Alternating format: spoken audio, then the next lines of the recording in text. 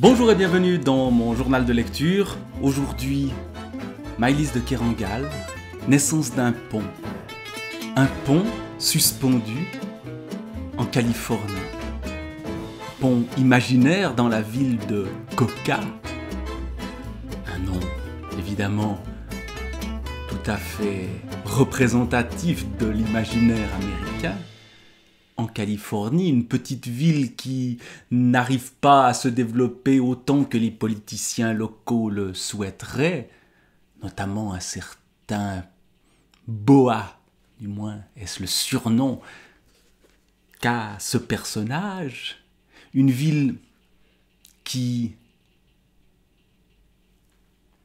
est atteignable par un petit pont ancien et qui rêve de se développer et pour cela, on va donc construire un immense pont suspendu, autoroutier.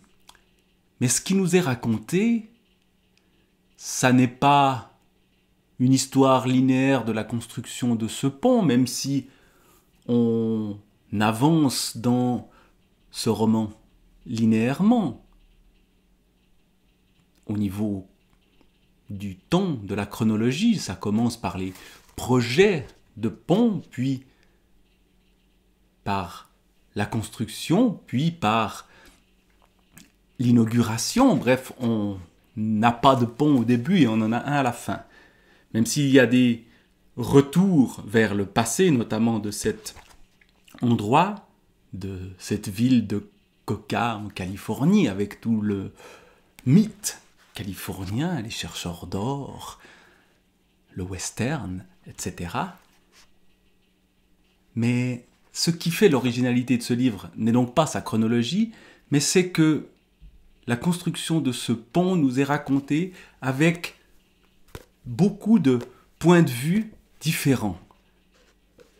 Le point de vue du Boa dont j'ai parlé, le politicien qui veut construire ce pont, le point de vue de ceux qui, dans les bureaux du génie civil, dessine ce pont, le point de vue aussi de ceux qui, sur le chantier, vont le construire.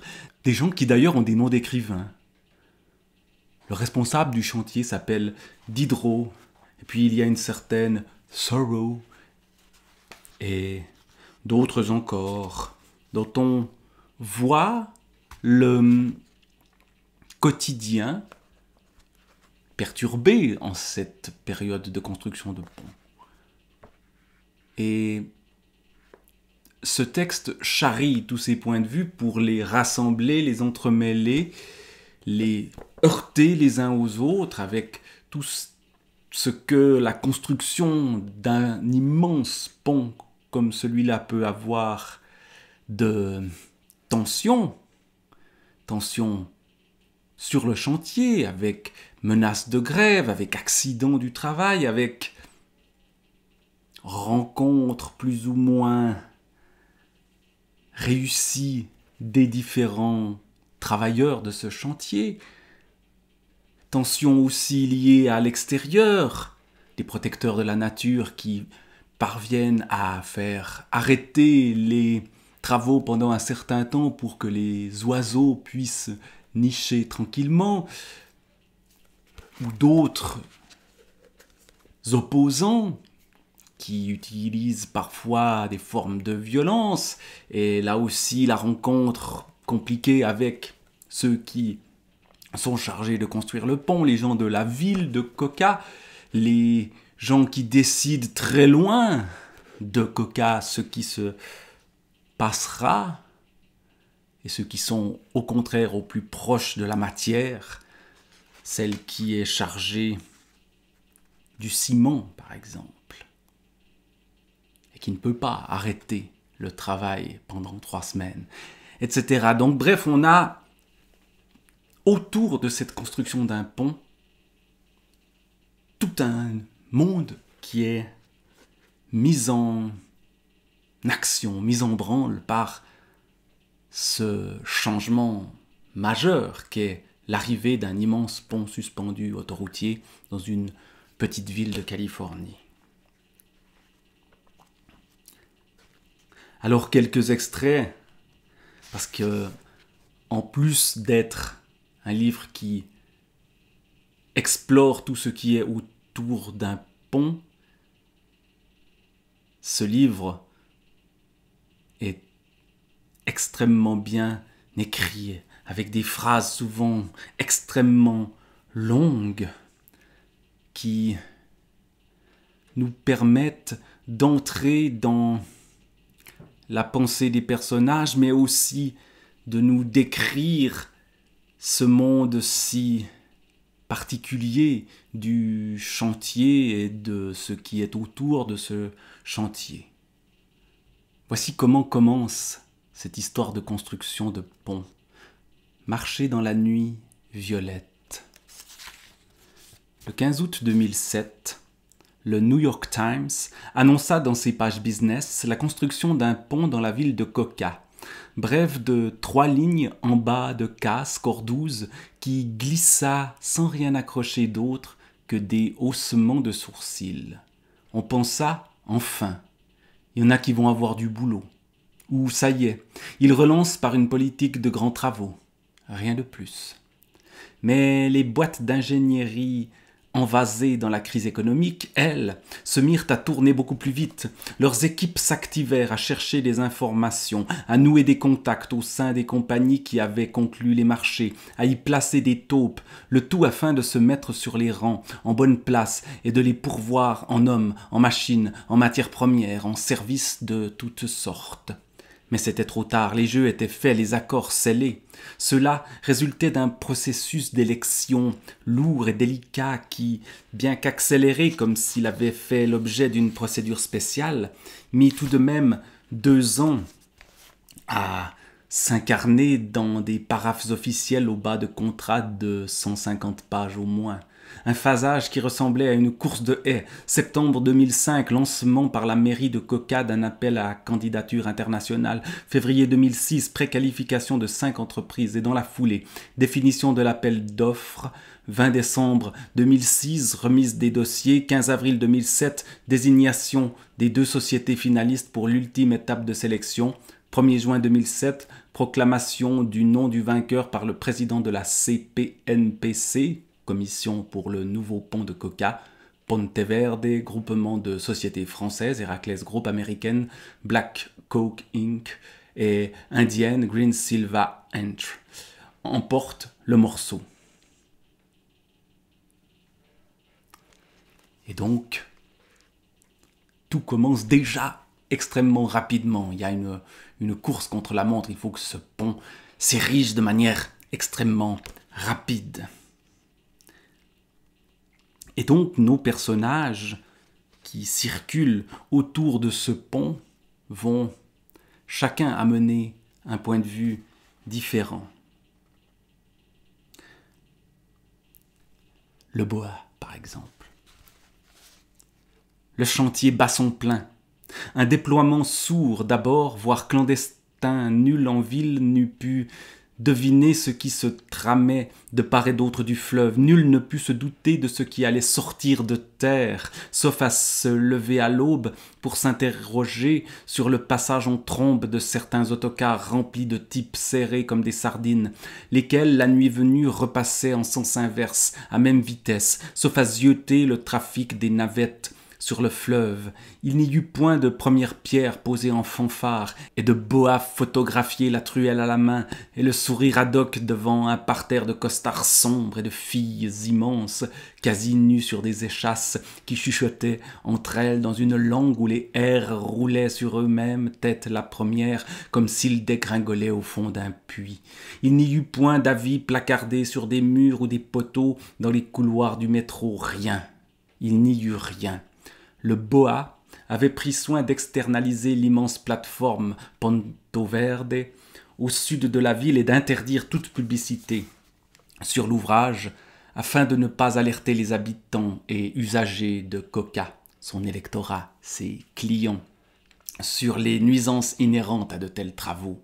Éventrement de perspectives, aimées, poussière, bruit, pollutions hétérogènes, congestion d'axes circulatoires, recrudescence du carjacking, afflux de populations miséreuses cherchant à gratter de quoi vivoter aux marges du chantier. Le pont s'avançait camouflé.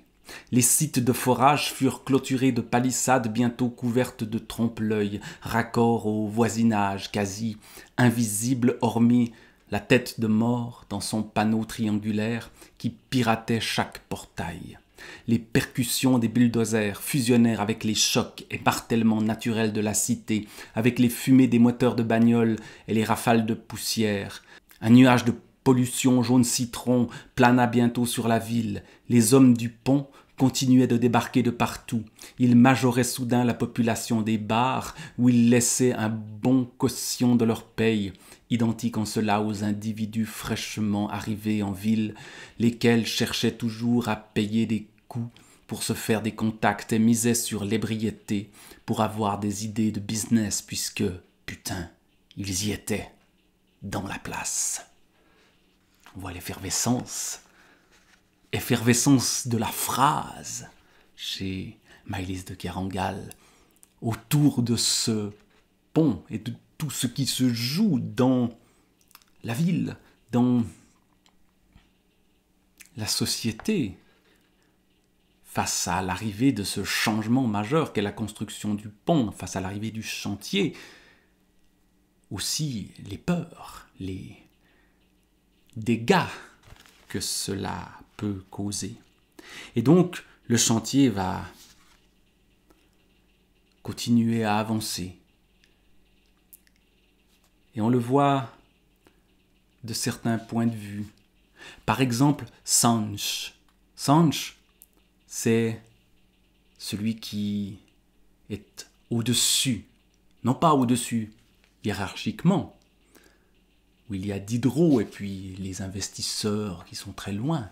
Non, Sanch, il est au-dessus parce que c'est le grutier, l'immense grue pour un tel pont.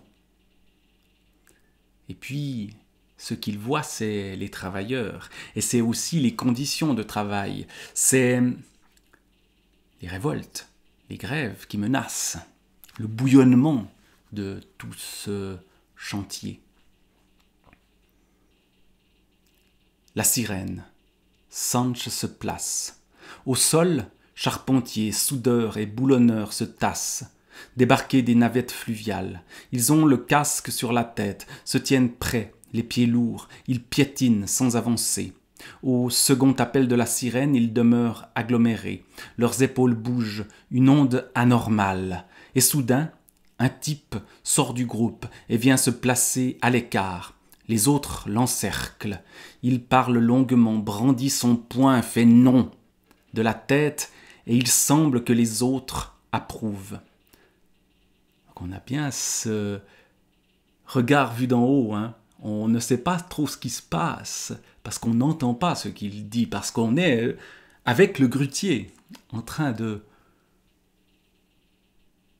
scruter et de remarquer quelque chose d'anormal une onde anormale. Le point, le nom de la tête. Que se passe-t-il? Sanch appelle un ingénieur sur la plateforme. Le Tokiwoki grésille. Il y a beaucoup de bruit en bas, des éclats de voix, les remous d'une colère. Qu'est-ce qu'il se passe?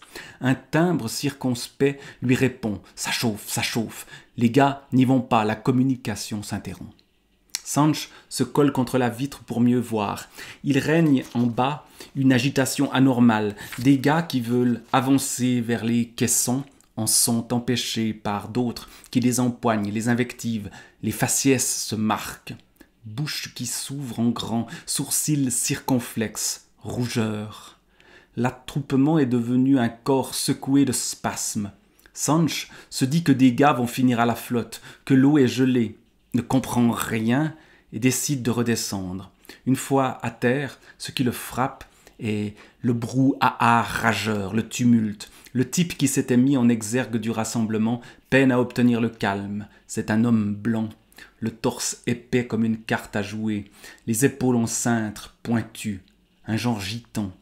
Il lève un bras noueux pour faire silence. Oh, oh, deux rouflaquettes noires avancent comme des poignards arabes sur ses joues rasées à la lame, et quand ses lèvres fines, foncées, un trait, finissent par s'entr'ouvrir, elle frappe les mots, un par un. Personne ne prend son poste, personne. On veut une augmentation du salaire journalier. Tant qu'on l'a pas, on ne commence pas. Sa voix s'enroula dans le silence, bref, qui suivit puis rejaillit, joueuse pour la première fois. On n'a pas eu de prime à Noël, eh bien, on va obtenir mieux encore. On a vraiment l'impression d'y être par ce dispositif de la grue et de Sanch qui au début ne comprend pas ce qui se passe et puis qui descend et qui se retrouve mêlé à cette grève qui risque de commencer si aucune prime ou aucune augmentation de salaire n'est versée. Et donc on a toute la tension, tension aussi plus intime dans la vie des différents personnages, dans les rencontres éphémères qui se font dans un chantier.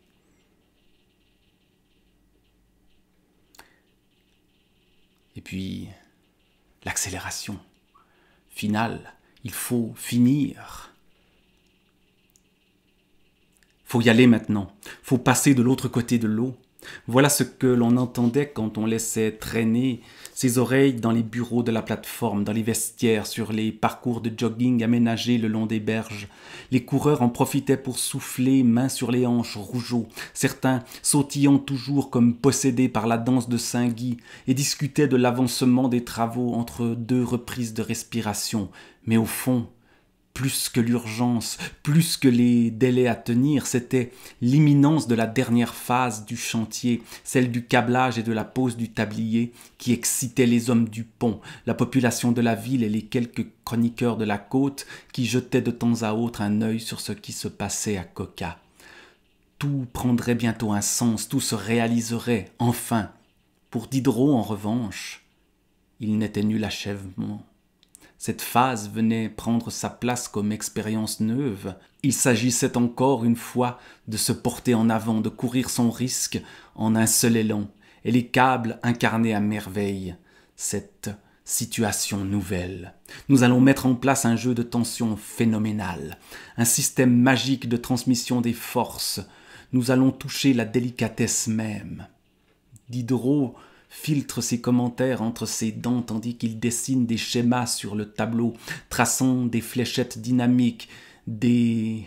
Et là, suis obligé de m'arrêter dans la lecture parce que je ne sais pas comment le lire. Il y a des flèches qui sont dessinées, vous voyez sans doute rien, des flèches vers le haut et des flèches vers le bas, sur des F majuscules, et ceux-ci bientôt se font slogan porté d'une voix claire. Le pont suspendu, c'est le nec plus ultra de l'ingéniosité humaine, de la débrouillardise, une affaire de répartition des puissances et des masses, le génie de l'équilibre, sans quoi il n'est que de la fatigue et de l'usure, des tiraillements, des effondrements de la laideur.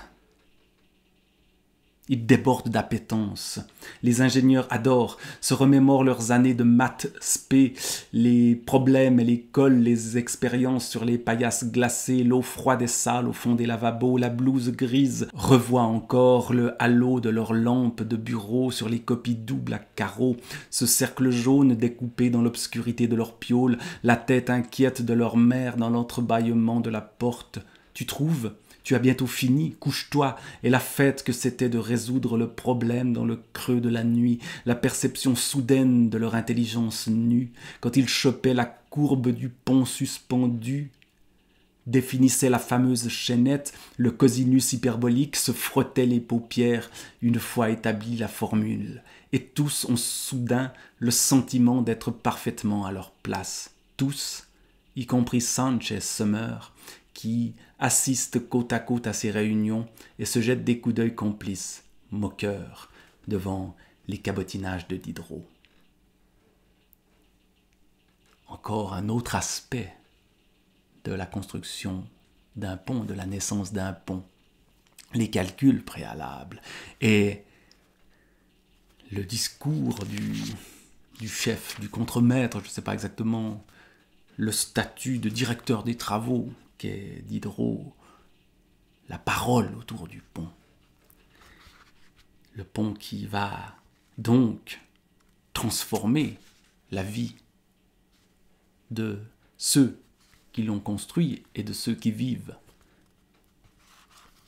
dans cet endroit. Donc tout un monde, toute une énergie, une force qui se met en branle dans la naissance d'un pont, toute une modernité agressive, mais d'une folle énergie. Folle énergie qui est extrêmement bien rendue par l'écriture de Maïlis de Kerangal. Un livre très puissant que Naissance d'un pont.